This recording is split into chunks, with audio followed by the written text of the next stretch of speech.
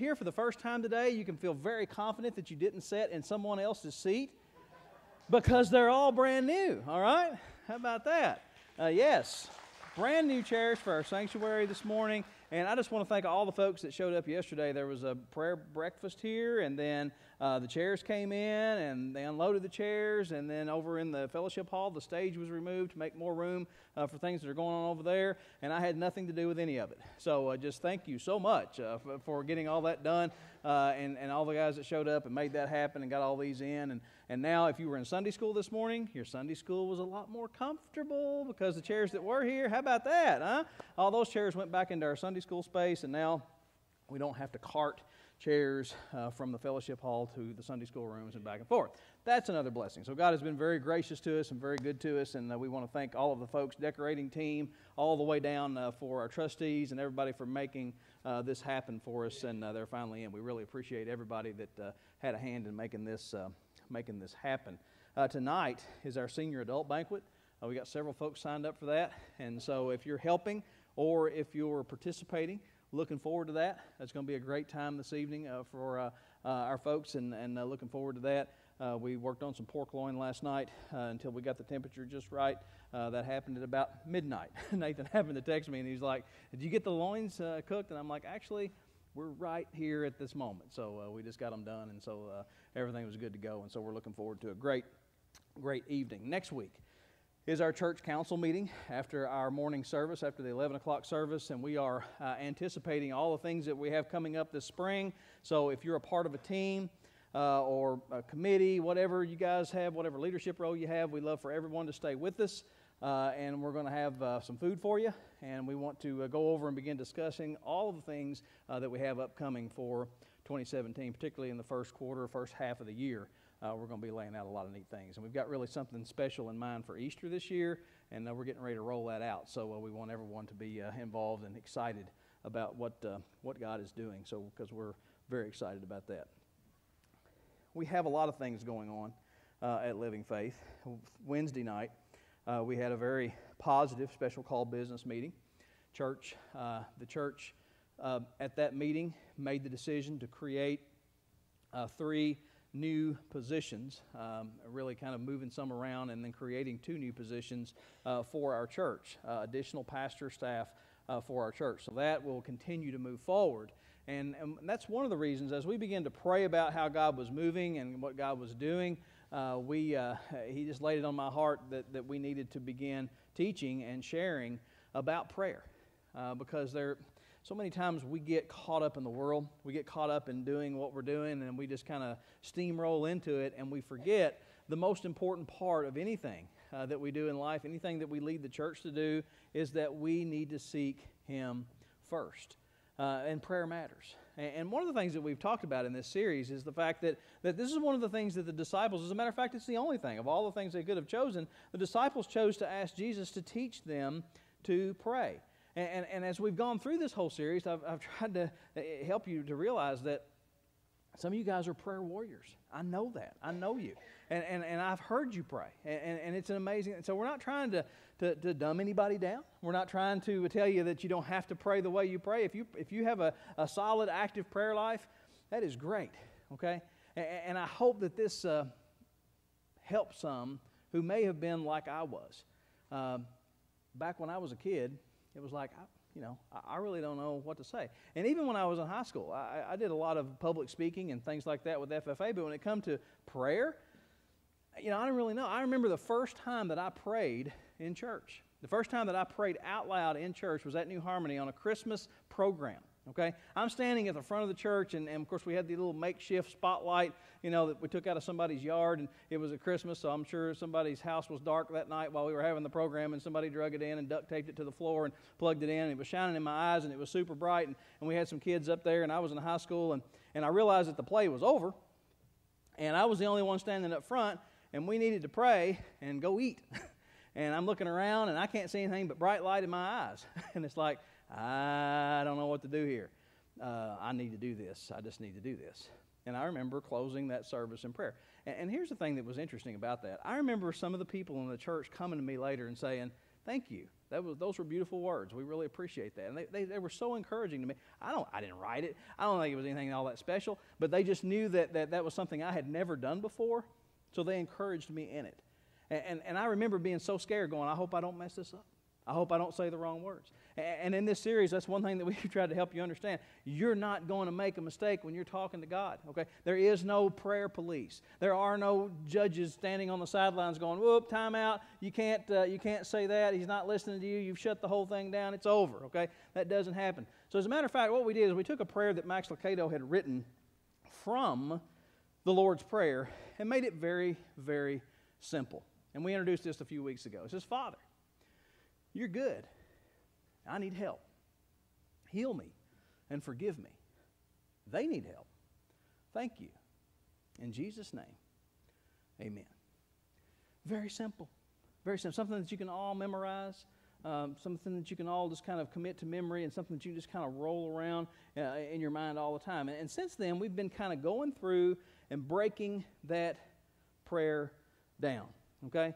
We talked about the fact that he wants us to call him daddy, that the term that he used in, in saying father was Abba, and that that was a term of endear, it was, it was, a, it was a simple term. It wasn't a term of, uh, of, of, of great formality, but it was a simple term that you might call your own dad. And he wants to have that kind of relationship with you. Last week we talked about the fact that God is good. He is good. We talked about pilots last week and how comfortable you are when you get onto a plane and you know the pilot and you know the pilot is good okay? And you can just feel secure and feel safe. When God is your pilot, you can trust Him and you can feel confident in knowing that He has your best interest at heart. Well, today, we're going to go into a little bit of a different um, turn as we look at the next piece I need help. One of the hardest things for parents to read sometimes are these three words that you might find written on the side of a box. Some assembly required. Okay? All right? That strikes fear in me sometimes. And, and, and this is one of my, what I consider to be one of my great failures as a parent. Okay, now Kayla may disagree. Taylor may write uh, an Odyssey article this week and say he was crazy. This is it. But, but anyway, this is what I see as one of my big, big mistakes that I made is that when Taylor was about uh, eight years old, and Michaela was about two. Uh, and we had just built a new house on the farm, and we had God had been just incredibly blessed. He blessed us incredibly, and we were able to stay there, and, and so He gave us land, and, and we were able to build our house where uh, we live now. And, and so it was a wonderful time, and, and so it was really busy, and we got it all done. And, and, and of course, my life is always crazy, and, and so you think that a guy could build a house could do this, but this is what I'm telling you. And I realized that they were getting, you know, at this age where, you know, they like to swing, and so we needed a swing set. Okay, so it was time to get a swing set for the kids. So, so I had a trailer on the back of my uh, Explorer, and so we go and we pick up a swing set. And so they put, you know, a swing set. I was I actually took a 16 foot trailer because I'm thinking let's get the swing set and just set it on the trailer. I'll throw a strap over it, and I'll drive this bad boy home. I'll get some, you know, some of my closest friends. We'll set it out in the yard, and it's done. Well, they came out with a forklift and they set the swing set on my trailer in a box, okay? And this nice, big, tall swing set was in a box about this tall and about that wide. And I'm like, wow, that's exciting. So we take the swing set home, and I open it up, and it's got all of these pipes and parts and screws and all these things, and it's like, holy cow. It was 105 in the shade. I mean, we get it in the middle of summer, and so I start putting the swing sets together. I got the top bar on, I got the side bars, I got the cross bars, I got everything in, and I got this all done. And so now we've got two swings. Uh, we've got a little thing that you can you know, do little flip things on that I never could as a kid because I was very highly uncoordinated. And, and so we had a sliding board, a teeter totter, and a glider. Okay? Well, it's, you know, time to go. we got to get things done. Give me the two swings with the chains. I can do that. One, two, three. Hang them on the hooks. There you go, girls. Swing set, two swings. I'll get the rest later. Okay? So that year passes. weather gets cooler. We still got the two swings. I try to put the I try to put the sliding board on at some point, and the bolts that they sent were a little too short, and it didn't really work, and that didn't work out. And then and then things time kind of passes by, and the parts got moved, and then some of the instructions got lost, and I tried to download them, and my printer ran out of ink, and and, and so next thing now we're three years out, and we still got the swing set with the two swings, no sliding board, no teeter totter, no no glider, and so it just goes on and on and on and on and on. Last year, I walked out in the yard, and I'm like Taylor's 21 and Michaela is 13. and I never did get the sliding board, teeter totter, and glider on that swing set. Whew. And so this thing was a constant reminder of my failure as a parent in my garage. So, hey, I went and got the tractor and the forklift. I picked that bad boy up and drove it down to dad's house and set it in his backyard and said, There's your grandchildren's new swing set. It's all yours. Some assembly required, okay? The parts are here somewhere, and I'm sure the instructions are on the internet if you've got enough ink to print them. Sometimes life happens, okay? Sometimes life happens. And, and that's the thing. Our job requirements should come with some assembly required. Babies should come into the world with that sticker, okay, on the bottom of their feet, uh, some assembly required. When you purchase your marriage license, at the top, I think it should say some assembly required because life is that way. Okay? Life is that way. It takes a lot to get through all of the pieces. Life is a gift, but it comes to us unassembled. It comes to us unassembled. It comes in pieces. And sometimes it falls to pieces. Part A doesn't always fit with Part B. Okay? How many of you all have had that Christmas Eve moment when it's like, holy cow, I don't know if I can do this. I don't know if this is going to go in here. I need a drill. I need a welding machine and a torch is what I need to make this thing work. And, and, and you've been in those situations where it's like, I don't know how this is going to get done. And the struggle for some is just too great for the strength. Sometimes something seems to be missing, and it's frustrating. Mom and Dad's been working a puzzle, okay? They're at that stage of life where you work puzzles, okay? And I, I can't wait to be there because sometimes when I get to go sit down and just have time to work a puzzle, it's fun. And, and, and Dad was telling me this week, he said, You know, we got down to the very last corner and we had a missing piece. And I tried all of the pieces available to me, and none of them fit in that place. That's a problem, okay? It's like a thousand piece puzzle. And so we have to search the whole house. And finally, they find the piece of the missing puzzle under the couch. How it got there, I have no idea, other than grandchildren, okay? But when that happens to us, it is unbelievably frustrating. When we're trying to put the pieces of our life together and there's something missing that we just can't seem to find. When your life doesn't come together, when the pieces of your life don't fit, this is what I want to share with you today. You need to take the problem to Jesus. You need to take the problem to Jesus. It's what Mary did. Now, this is one of those Bible passages that you can do all kinds of things with. Okay, you can explore a lot of different uh, pieces of this puzzle, but uh, I want to, uh, to share with you uh, from the text what took place at a wedding. In John chapter 2 and verse 1, on the third day, a wedding took place in Cana at Galilee. Jesus' mother was there, and Jesus and his disciples had also been invited to the wedding. When the wine was gone, Jesus' mother said to him, They have no more wine. Now, this is kind of like that commercial that's out right now uh, when the guy goes to the dentist and the dentist says, That's the worst cavity I've ever seen. Are you going to fix it? no, I'm just a dental monitor, okay?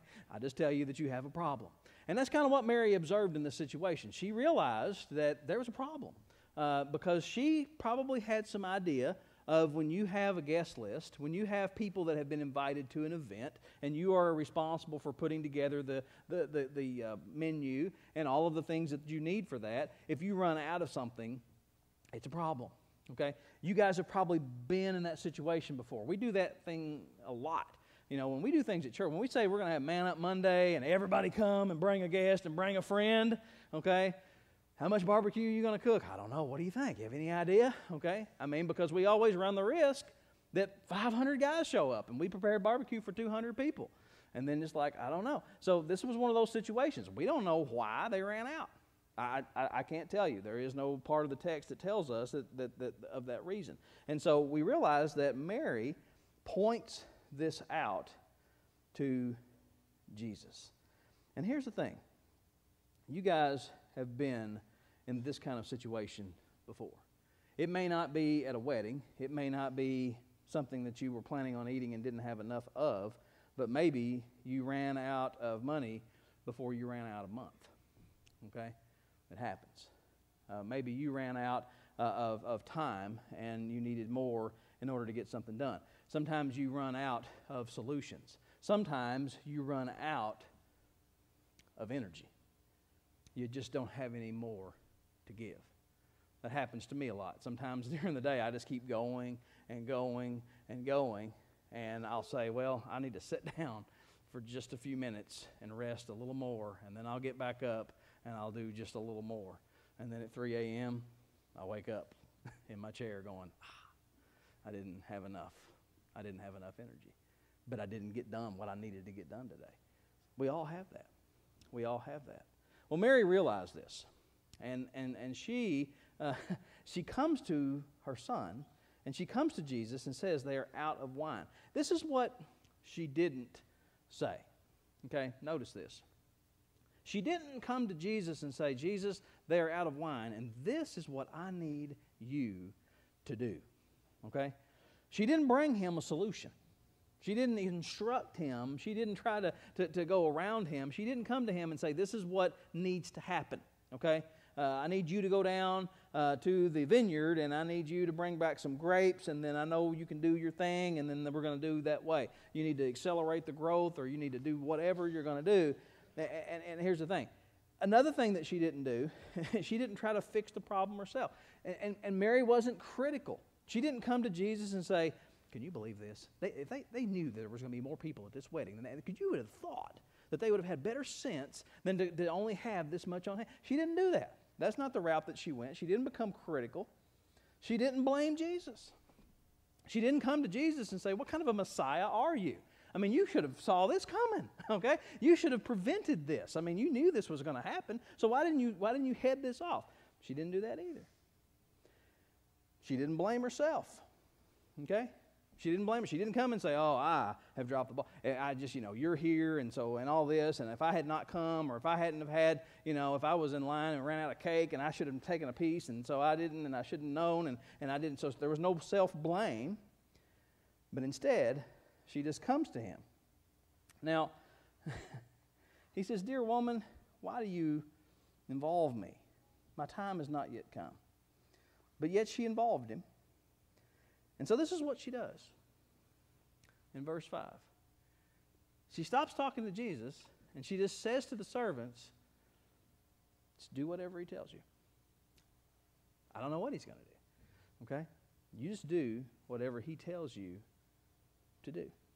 No instruction other than listen to him. He's got this. Now, we're not told here of what his original intention was, um, but we just know that Mary is somebody that he loved, and Mary recognized a genuine need in the situation they were in.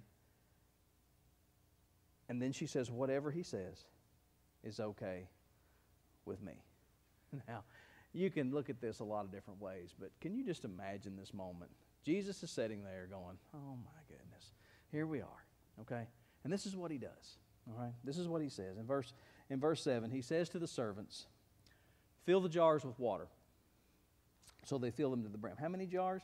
Nearby stood six stone water jars. This was the kind that was used by the Jews for ceremonial washing. Each one of these jars held between 20 and 30 gallons. It's a lot of gallons, okay, for a wedding okay, because they've already had some and they've just run out, okay? So we don't know how big the wedding party was, but we've got six jars here that'll hold 20 to 30 gallons. So Jesus says, fill them to the brim with water. So they filled them up, and now he says, draw some out and take it to the master of the banquet. So they took it to the master of the banquet, and he tasted the water that had been turned into wine and did not realize where it would, had come from though the servants who had drawn the water knew.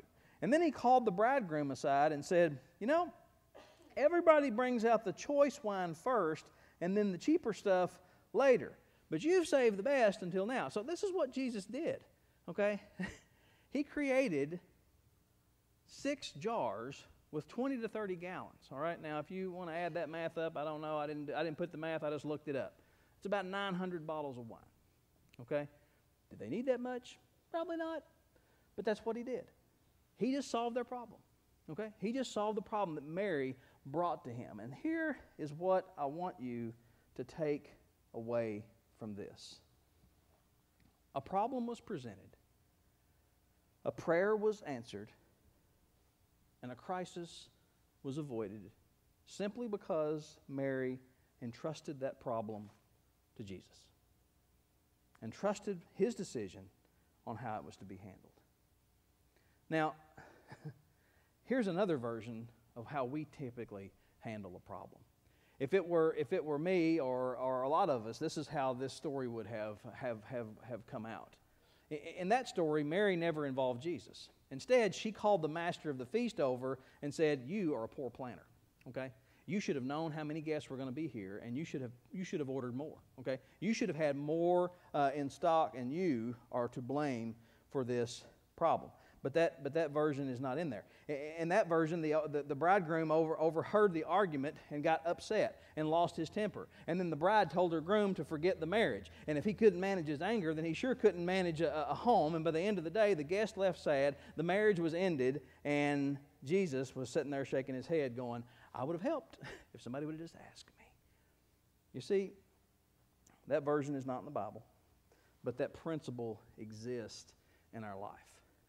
Because when we see a problem, so many times we'll wade headlong into it without consulting Him first, and that's wrong. Okay? It's wrong. When we try to figure it out on our own without involving Jesus. So, this is what I want you to take away. Okay? How many disasters would be averted if we went first with our problems to Christ?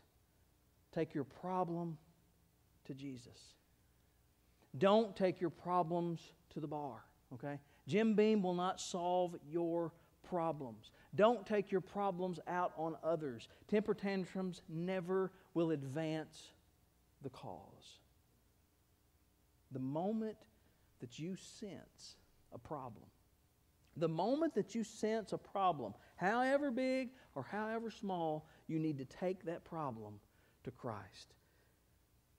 And you might look at me and say, Brother Greg, if I did that, I'd be talking to him all the time.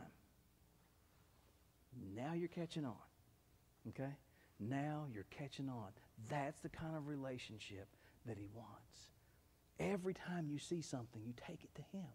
You involve him. You, you, you take it to Christ. Philippians chapter 4, verse 6 says, Do not be anxious about anything but in every situation, by prayer and petition, with thanksgiving, present your requests to God. Don't be anxious about anything, no matter how big, no matter how small. And here's the promise the peace of God, which transcends all understanding, will guard your hearts and your minds in Christ Jesus. Take it to Him. Take it to Him always, always first. An unprayed for problem is an embedded thorn. Okay? When you've got an embedded thorn, it will, it will infect first the finger, and then it moves to the hand, and then the entire arm. So when you find the problem, you've got to go to the person who has the tweezers. In 1995, Sandy and I were blessed with Taylor, our first baby. That'll be 22 years ago this March. It's hard to believe that it's gone that fast. It blows my mind. But about three years after uh, Taylor was born, about 98, uh, 99, we decided, you know, we'd love to have another another child. And uh, it would kind of time out just right with uh, my my years of experience in teaching, and that this, you know, if we if we had one right now, everything would be great. And so it's like, okay, let's let's let's have another baby, and it's a good time. And and so we we are ready to have a baby, but we don't we don't have a baby.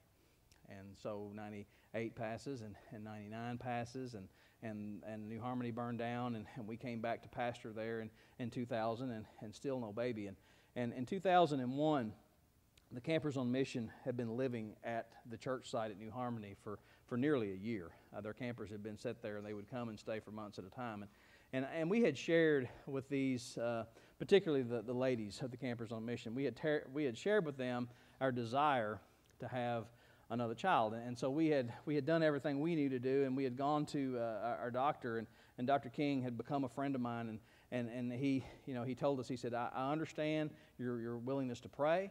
He said, but God has gifted me with abilities and talents. He said, why don't you let me help? Why don't you let me help? So that was his, that was his, uh, his question, and I was like, okay, then we'll, we'll try. And so we began trying things. We began trying fertility treatments, and we, we took she took shots and she took pills and charted temperatures and all the things that you do when you when you can't have a child and you're trying. And some of you guys, this may be hitting harder to home than, than, than I realize, but I understand. If you've been there, I know what this is like. And it becomes very frustrating because you think you go through all the steps and, and that you're going to be blessed with a child, and, and there's no child. And, and so it came to a point where about the time the church was finished, uh, that Sandy just couldn't take it anymore. And she came to me and she said, This is not working. Nothing's working. It's not going to happen. I, I, can't, I just can't handle the pressure. So I just want to quit. And I was like, Okay. We'll just stop taking the drugs. We'll stop taking, you know, everything that we've tried. We'll stop the temperature business. We'll just get rid of all of it and just quit. So we just quit. That was the end of, of, of uh, middle of 2000 and 2001. And so so we're not thinking about having a kid anymore, and so it's like, well, okay, that's that's going. And then uh, and September rolls around, and uh, the health insurance uh, brochure comes out for the school system, and our rates were going way up. And I was like, and we're wanting to build a house, and it's like, okay, I need to try to do some budget crunching here, and since we're not going to have a baby, how can we save some money on health insurance? okay, I'm a new pastor, been in the, been in the church for a little while, and, and so I started researching the, the Southern Baptist Annuity Board provides health insurance to pastors, and it's, it's an independent thing, but it's still a group. And so I get the information, and it was much cheaper than the school system. It's like, oh, I can save some money, and so we'll just switch. So in October, I walked in to the uh, room there in the high school and signed my little name that I waive my insurance coverage. You know, and they're like, "Are you sure you want to do this?" Yeah, sure. I, I know I want to do this. So, so Greg.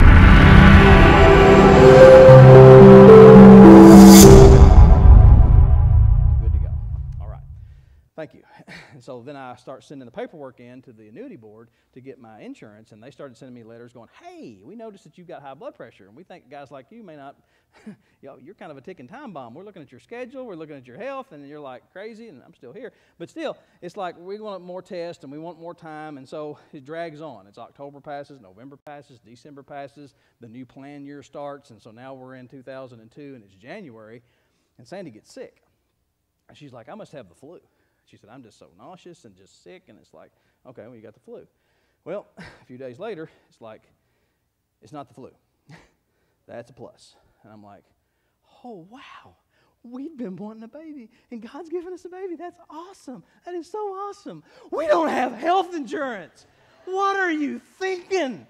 Why did you let me do this? Why did you allow me to sign on the dotted line that I don't want to waive my coverage? Are you crazy? Okay, and I'm in a panic. Okay? Anxiety? Yeah, pretty high. Okay? So it's January 2002, and I've just signed and waived away my coverage. Now there's no hope of getting it on there because now it's a pre existing condition, so it's not going to be covered. And so we're going to have a baby without health insurance. And I'm like, okay okay, we're good to go. So we just start going through the whole pregnancy. And it was, you know, she always gets sick. With, and so she was sick. And I'm like, let's keep us out of the hospital. we got to stay hydrated. We get the little NyQuil one ounce uh, shot glass thing. And I'm, you know, she's doing shots of Gatorade and trying to keep the hydration going whenever she's sick. And so we're getting all this going, trying to get through. And, so we just keep going, keep going, keep going. And finally, we get to August. Okay, so now we're, you know, we're getting on in. We're almost, we're almost to term. And we go to Dr. King and he's doing an ultrasound and he goes, huh. I'm like, huh? What do you mean, huh? Huh? I hear, huh. He's like, well, she's, she's turned. She's, she's head up. She's breech. I said, okay.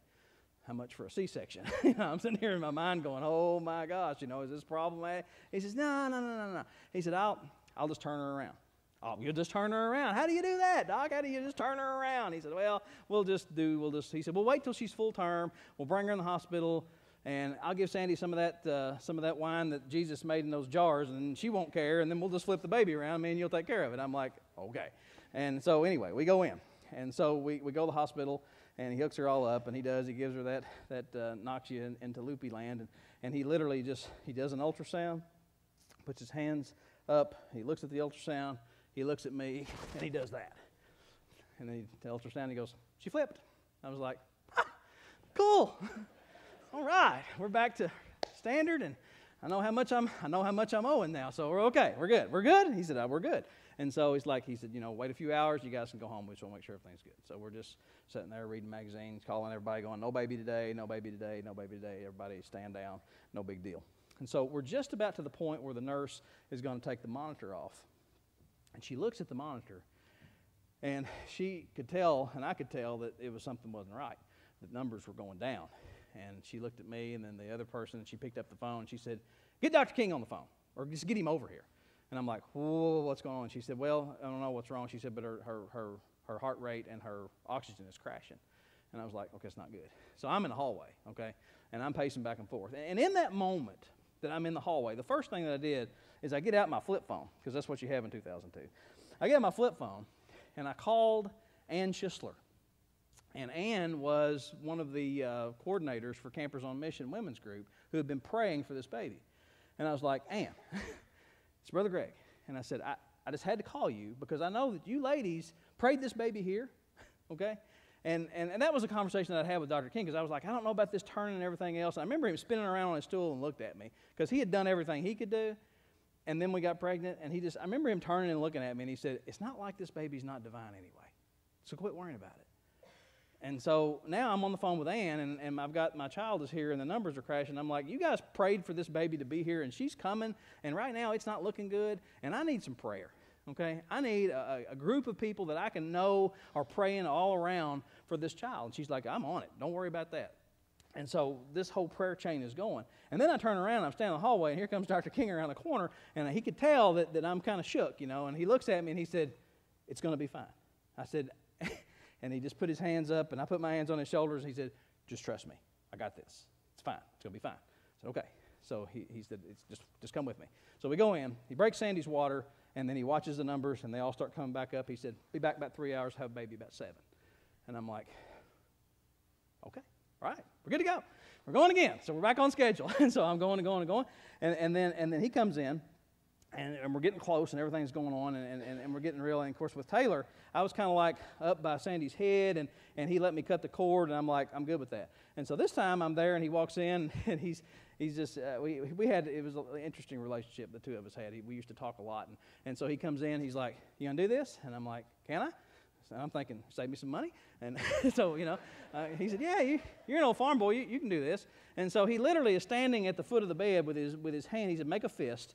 And so he shows me how to put my hands and how to do this whole thing to deliver this baby. And, and, and, Sandy's like, What are y'all doing down there? I was like, Just, just drink your wine and, and don't pay attention, okay? So we're good. And so give her an epidural, and, and how much would that be? And so, anyway, so she's got all, and she's ready to go. And so we start delivering, and of course, Sandy does all the work. Justin Gary reminded me after the 8:30 service, he said, uh, I think she delivered the baby. You just caught her. And I said, Okay, you're right. So she's doing all the work, and I'm down there trying to save a buck. And, and so I bring Michaela I, I catch her and I bring her into the world, and I'm the first to hold her. And what an incredible moment. And so you're flooded at that moment with God's grace and His answer to your prayers. And, and so nothing else seems to matter in that moment. But, you know, it always happens. And, and, as we go through the hospital stay and everything else, the, the, the social services and different people come in. They're like, hey, we noticed you didn't have any insurance you'd be right. that would be correct. Uh, yeah, I'll be talking to you guys pretty soon. So, so we went through the whole process, and and I had a flexible spending account with the school that had a, a few thousand dollars in it. And I remember going to Dr. King's office, and I was like, "So what? How much is this going to be?" And and did I tell you that I helped deliver her? so there should be. And so, and it's like uh, it'd be this amount, and it was exactly the amount that I had in that account. And I was like, "Okay, so here's that money." And so you guys are good. And so I went to the hospital and, and they said, well, you can make payments and, and it'll be this much. And, and I'm like, well, it's like buying a car. And so she'll be mine in five years. That's great. And so I get the title for her at that point. And, and so we start making payments for that. And, and, then and then the anesthesiologist, uh, I went to their office and I'm like, here's the deal, and gave them my story, and they're like, well, if you pay us this much, half of what the bill is in cash right now, then that's all you will owe. And I'm like, here you go. And so I'm broke, and everything's gone, but but this is where it came down to. At the end of that time, we, we were blessed with Michaela. She was healthy, no other. And of course, the birth of a child is a qualifying event. So the moment that she took her first breath, she was covered by my health insurance at the school. And so God was very gracious in that. And, and, and so when I sat down and figured up how much money that, and I was really worried about this, just be honest with you. I had a lot of anxiety and concern. But when it came down to it, the exact amount of money that it cost us to have Michaela was the exact amount that it would have cost us to have paid insurance premiums for the year of 2002. And I'll never forget when I put that last number on that piece of paper when I added it up. God just kind of said to me, See, you know, she wasn't free, but I took care of this.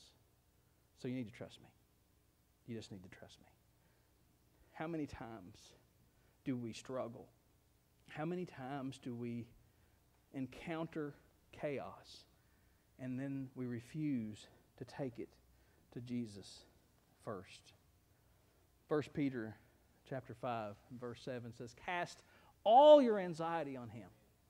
Cast all of your anxiety on him because he cares for you and he can take care of it.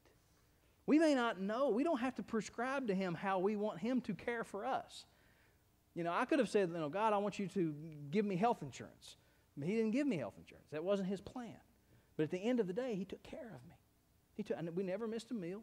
No, Taylor, Michaela came home with clothes on, and, and we could we could bought her milk and all the things, and diapers and all the things. Everything, everything was taken care of. Cast all of your anxiety on Him.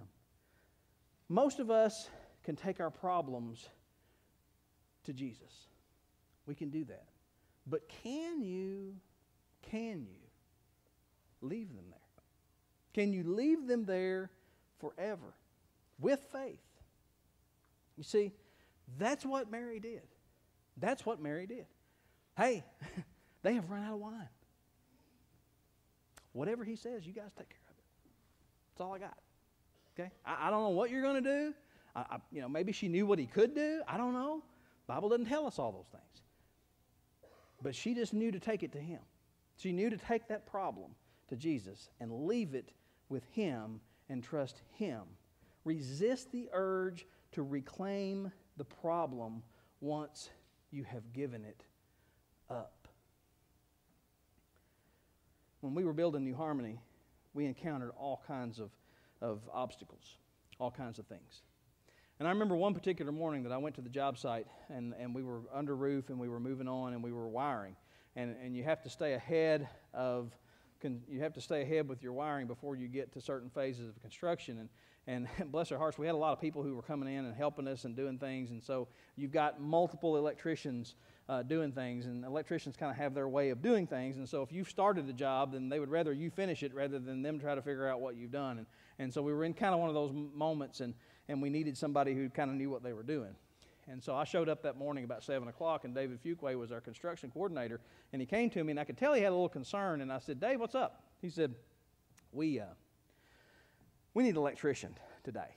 He said, I, I don't know if I've got enough to keep these guys busy until we get somebody. And he said, You know, I don't like guys not being able to have anything to do because if they don't have anything to do, then it's like, Why should I be here? I'll just go home. And he said, You know, we don't want to be there. He said, We just, we just need an electrician. And I'm sitting there going, I don't know how to come up with an electrician right now. I mean, I know guys, but they're all working, and how you're going to get somebody here in, in, a moment's notice. And I'm like, Well, you know what, uh, David? I said, We need to, uh, we just need to pray for an electrician. I said, That's all, that's what we're going to do. He said, I think that sounds like a plan. So we gather everybody up uh, at, on the job site. We get everybody out to the church, and all the guys gather around, tool belts on, ready to go to work with not anything really to do until we get an electrician. And, and so we get in a big circle, and we just pray. And I remember saying, God, you, you got this whole thing. You've guided us through this whole process. You know everything that needs to be done. You already knew how it needed to be done. We need an electrician. So if you can bring one here to us, we sure would appreciate it. Amen and we prayed for safety for the work site for the day. And the guys got ready to start working. And I'll never forget, everybody dispersed and they all left and started walking back out toward their campers and into the church. And, and me and David are standing there in the driveway of New Harmony, and he's looking down the road, and I'm looking at Dave. And I noticed that his, his, his throat kind of lumped up and, and, and, and tears kind of formed in his eyes. And, and I looked at him, and then I looked out of the corner of my eye, and this van that I'd never seen before popped over the hill next to my uncle's house, starts driving down toward the church. And he's just looking. And I said, David, are you okay? He said, uh, and then I saw a turn signal come on on the van. He said, That's Jim Boney. I said, Who's Jim Boney? He said, He's an electrician. I said, Are you kidding me? He said, Yeah. And he said, he's, he's our electrician. He works with us. He said, uh, He's been in Alaska on a mission trip. We haven't heard from him in three months. And he pulls in the driveway. And he gets out, and Dave said, Well, I sure am glad to see you. And here's the thing okay, Jim Boney didn't suddenly just appear on Highway 269. he had already made the decision to come that day. I mean, he was already weeks ahead of time, was planning on being there that day. There had been no communication. He just knew that God wanted him to be there on that day. So our prayer didn't miraculously create a Jim Boney on the road. But God already knew what we needed. So instead of us spending the whole morning worrying and being anxious about what we needed, we just needed to take the problem to God and then move on with life because He already had it under control. I saw that over and over and over again. And here's the thing so have you. Many of you in this room have seen the very same thing over and over again. Okay? You've seen it happen. Now, I've got my family was in Biloxi uh, after Hurricane Katrina, uh, ministering through a church, helping to feed people. Truck pulls in, loaded with, with frozen chicken. Okay? Guy comes in and says, Got a load of frozen chicken to donate. Where are you going to put it? We don't have no place to put frozen chicken. I mean, we don't have any place to store. We need a refrigerator truck. So they said, God, we need a refrigerator truck. Guy walks in this door. What do you have for us? I've just got a refrigerator truck. If y'all need it, we'll leave it parked here. Okay, you put your chicken on his truck. God's answering prayers just like you guys have seen those things happen. And, and if you've seen it, and if you believe it, then why don't you trust him? We know that that's the God we serve. We know that that's what He does. We know that He loves us. We know that He takes care of us. And we know that in this life it's going to be a sticky mess sometimes. We know we're going to encounter difficult moments. We realize it's going to be tough. And, and, and if we do, then why don't we just take it to Him and leave it with Him and let Him care for us? It's just that simple. When you have a need, take it to Jesus leave it there and trust Him. So, my question for you this morning is what are your needs? What are your needs? Maybe, maybe you just need Jesus. Maybe you don't have Him. Maybe you don't have a relationship with the, with the one who created you. And today's that day. Let me pray for us. Father, we come before you this morning. Father, we all have needs. Help us to just bring them to you and leave it there. You know what our needs are before we even ask. But you want us to ask you. You want us to bring those problems to you because when we don't bring them to you, when we don't speak them, when we don't point them out, we have a tendency to want to solve them ourselves. We have a tendency to want to tell you how to solve our problems. We just need to trust, Father, that you have a plan. And Father, sometimes life is sticky, life is messy. It comes to us without instructions, it comes to us with uh, some assembly required. Father, you have the manual. Your word is our instruction manual. And Father, you tell us in your word to bring it to you. Ask, you will receive. Seek, and you will find. Knock, and it shall be opened. Father, we're knocking on your door this morning. Open it, Father. Open it wide to our hearts and, and just ease our minds. Uh, in, this, in this thing we call life and and, and the messiness of it, Father, help us to bring everything to you first and leave it with you. And then trust you. You have a plan. You know how we need to respond in this time, Father. You know how we need to respond in this invitation. Help us to respond and to reflect in the way you would have. We pray now, Father. We ask it in Jesus' name. Amen. Please stand.